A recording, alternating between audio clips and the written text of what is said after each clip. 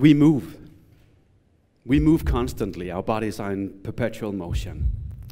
And it's actually one of the things that define us as, as living entities, that we are constantly moving. Except right now, of course, you're forced to sit down, which may be a little bit awkward. So if you all want to stand up for just five seconds, it's fine. Yeah. Let's celebrate motion. Feels good, right? Okay, you can go back to sitting down. We move at a very basic level of a heartbeat. And in fact, there is an unbroken chain of motion that's passed on from father to mother to child, reaching back all the way in an unbroken chain to the very beginning of, of life. At least that's what I thought until I heard Dr. Waldenberger's uh, talk. So thank you very much for ruining a perfectly good point. So there can be gaps, obviously, in this, in this chain of motion, but they are quite few and far between. We all share this, the idea of motion. And it defines us, even to the point that we have a special word for what happens when people stop moving. We call that death. Now, the two people that uh, brought motion into my life, my father and my mother, one day, about 13 years ago, went to a party with some friends. Uh, a joyous evening, frivolity, I'm sure. And by the time they were done, they were getting a ride back home from another couple uh, who happened to have a car. And they went into that car. And at some point uh, during their ride home, they stopped moving. It was nobody's fault, really. Well, it was a poor judgment call of an elderly man on a dark and icy road in the, in the, in the northern nights. And they stopped moving. That's quite unpleasant. I've been fascinated with movement for a long, long time, and I think that the fact that we are always moving is perhaps also in some way responsible for our fascination with technologies that move, or as I like to call them, robots. So, for some years, I've been working with this robot and trying to understand what the nature of the robot really is and what kind of potential is attached to this kind of technology. And we like to do that by placing the robot in a lot of different um, experiences or different situations to kind of see if we shake up the, uh, the rules a little bit. What happens if you have an android sitting in the street waiting for a bus to come by? That's kind of fun. Yeah, this is a close up of the robot. It's actually meant as a, a small informational uh, video by a couple of engineers who were working on stuff at the time. But I thought it was quite fun. Uh, so I put a little bit of music under it, and it's on YouTube, seen uh, a couple of million times, one million times by myself, trying to figure out what's going on here, because it's not uh, immediately obvious what is actually what is actually going on. Um, and after having been working with this kind of technology for some years now, I have uh, a very clear understanding of two things.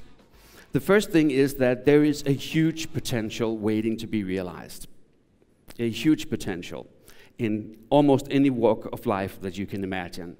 And the other point that's uh, crystal clear to me is, at the moment is that there is absolutely room for improvement.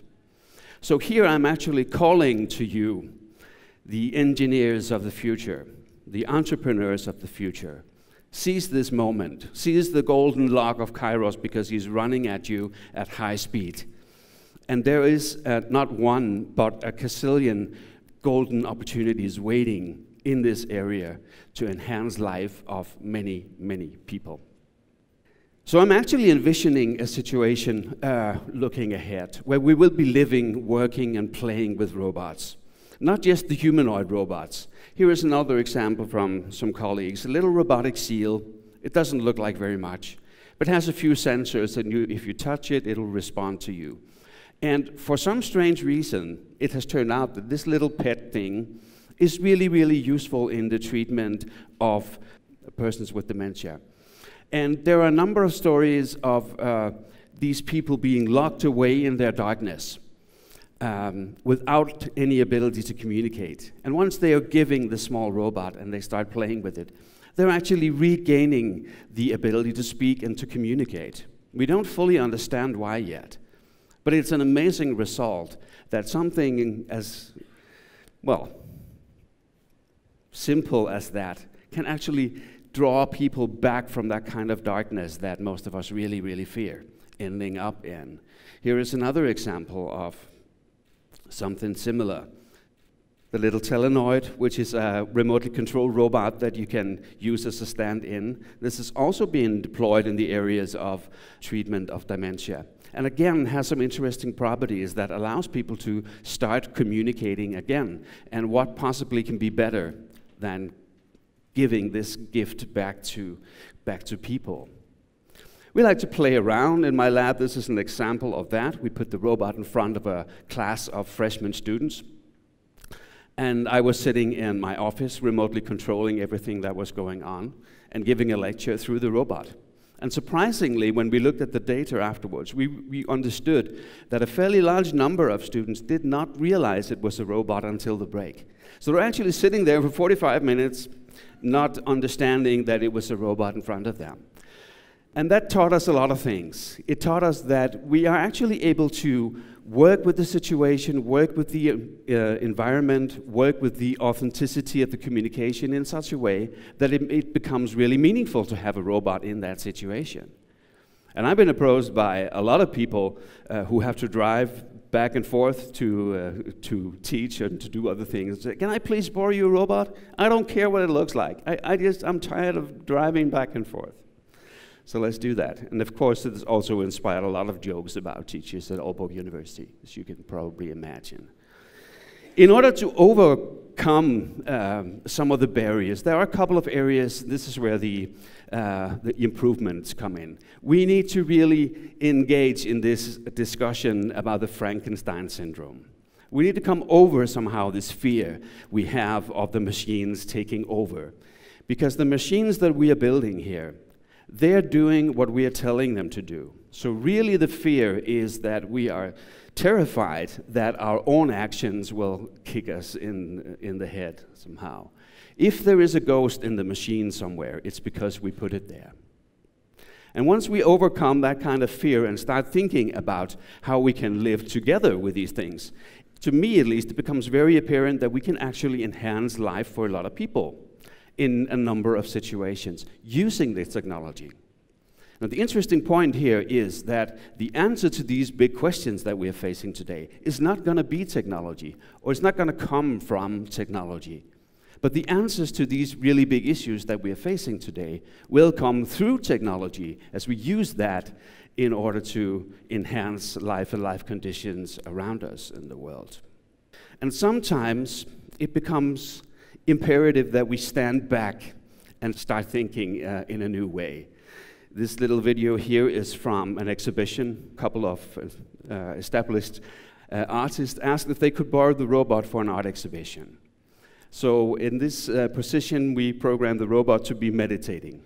He is sitting, watching a computer screen with close-up of um, close-up images of computer chips which I thought was really nice, being delivered by a hand-built uh, Nepalese uh, uh, PC. Um, and he's sitting there meditating. When I see this clip again, I'm reminded that sometimes we need to stop, step a little back, and reflect on what it actually is that we are doing. So, for instance, even as I'm standing here and talking to you, there are people who are banging on the borders of Europe. Some of them are affluent, some of them are opportunistic, some of them are poor, but all of them are running away from the place where they really want to be. And we are witnessing in these days, these weeks, a chaos across the continent that we have not seen in many, many, many years. And if we see all these people running to us and know that they are fleeing from poverty, from famine, from the atrocities of war, is it really fair for us to spend days doing this, talking about technology, education, and design?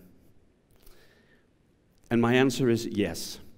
This is actually crucially important that we do that because it is through technology And it is through education and it is through design that we can enhance living conditions for people where they come from so that one day they do not have to run around on the highways of, of, of Europe, but can actually go back to living where they came from, from the place that they call home.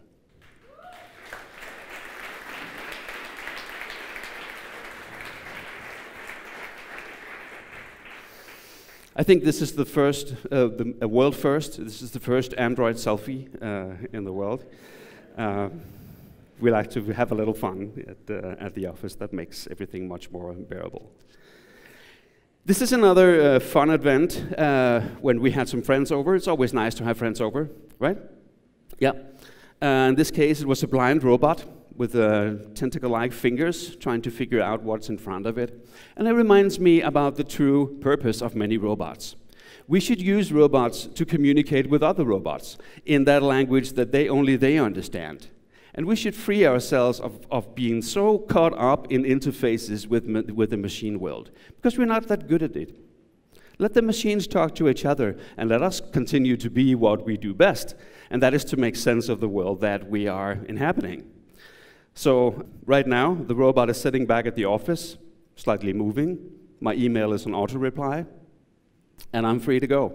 Let the machine talk to the machines. And in fact, most of the emails that will reach me uh, are written by other robots anyway. So it only, that only seems fair. This is an example of technology that's going to be hugely influential and very, very important for a number of reasons. So the exoskeleton thing is something that has grown out largely in, in the, uh, the defense industries. And it's uh, probably very useful uh, to have that kind of equipment if you're a soldier. And, but sometimes I'm standing in my garden and you know digging in the, in the autumn, and it's heavy work, and I'm thinking, do I really have to join an army to get this kind of technology? Why can't I have it here now where I need it? These things are now widely used in rehabilitation, which is a really cool thing. But they're also useful for many other things like construction work or people working on the roads and so on. Let's have much, much more of that kind of stuff. Let's make it available. The idea here is simply to take technology that's already present, come up with new and exciting ways of using it, and by doing so, changing a lot of stuff for a lot of people. You know what really kills the conversation in this instance? Please turn off all your electronic equipment during taxi startup. that is really, uh, that's a, that is truly a conversation killer. We need to reform some of our laws around us. We need to rethink and reconceptualize the way that we think about technology. Because autonomous technologies are coming at a fast rate, and if we do it right, it's going to be a bright future in that, uh, in that sense. But only if we can get our heads around this in a way that allows us to utilize the potential. So let's bang on some doors and have people actually rewriting the rules that are right now hindering us in realizing this potential. I, I feel that's quite important. Working with robots is a fun thing. And it reminds me of a number of things that, um, that are really important to, to us as people. We sometimes think of robots as machines that are really good at repeating work, repeating special motions. And I think there's a lot of truth in that. Um, but there are some kinds of repetitions that you really don't want to have in the hands of a robot. Let me give you an example. For 15 years, every day at dinner time, I've been asking the same question. And that's not a very efficient way of spending your time. 15 years, the same question every day. How was school? How was high school? How was university? How was work? And in this kind of situation, it's actually important that it's me doing the repetition. So we need to think about quite clearly in which cases do we want to have machines to take over this kind of, of uh, repetitious work? There are other cases, stuff that I've been doing year in, year out, like doing homework, uh, running through the same math exercises for now the third time, well, the fourth time, because I did it myself many, many years ago. And it's not getting any better. I would love to have a robot doing that. But let's please be careful about where we put them and for what purpose. Precisely in the education industry, there is a huge um, potential here. Every teacher I know keeps screaming about the same things. The mantra is we need to start stop treating everybody as just one gray mass and be individualized in our approaches to, to education. And when they're done screaming that mantra, they return to a situation where they talk about uh, where they're standing in front of a lot of people and, and talking uh, in, the, in the same voices they've always done. The problem is that none of us have the funding or the, uh, or the energy to put all the eyes and all the hands that we need into these classrooms. But the solution here clearly is let's build more hands, let's build more eyes, let's build more pointing fingers that can point to whatever part of the math problem that you're currently occupied with. Let's build that. And let's take all that training, all the exercising, and leave it in the hands of machines who are truly wonderful at doing these repetitive tasks. There's a big potential, and there's a, a number of, of business models just waiting. They are open. The technology is ready. It's yours for the grasping. Take these things, let, let us combine them in new ways. Talk to me about it, talk to some other people about it, and let's get moving. Coffee break. Yeah, that's nice. Here is another example the drone industry. Yes, drones can be used to carry bombs and they can be used to spy on your neighbor, but they can also do a lot of other things. They can go places where we can't really go surveillance of crops, surveillance of protected areas, coastal regions. Uh, not just the flying ones, but the submersibles too. There's a growing industry of building autonomous submarine vehicles that can be used to detect pollution and other things uh, below the surface. Imagine if you're walking across, uh, let's say, a football field. You have a very uh, nice overview of what's going on. There's a patch here. It's a little bit different in color. There's some disease problems over here. And you easily have that kind of, of overview. But imagine you have to go through the same football field doing that kind of work, only you're just one centimeter high. Now that makes the task almost impossible. And that is precisely how most uh, farmers feel when they're walking through their fields. It's like being this tall and walking across a huge area trying to get a grasp of what's going on. Technology is there. But what we need is new kinds of legislation that makes this um, more feasible. And we need new models to come up with how to deal with all this information. And so much of that stuff is not there yet. There's a whole world of business opportunities waiting here. The technology is ready. Are you ready? I wonder. Let's move. Finally, when I grow old, I want to go to parties too and I want to do it in a car like this. Well, maybe not that precise model, but I want to do this in an autonomous car that drives itself. No more silly mistakes of poor judgment on a dark and icy road, because those can easily be avoided if we have the right legislation around it and if we have the right people to come up with the right models of doing this. And like my parents, I will be sitting in the back seat music still, still loud and ringing in my ears. I'll be cracking jokes because that's what I do when I'm at parties. Sarcasm runs really deep in this family. Hopefully, like they were, I will be sitting there, waiting to get home, holding the hand of the woman that I've spent half a life loving. And these things are possible because technology is there. Let's share that future, let's build it, and let's make it really good. Thank you.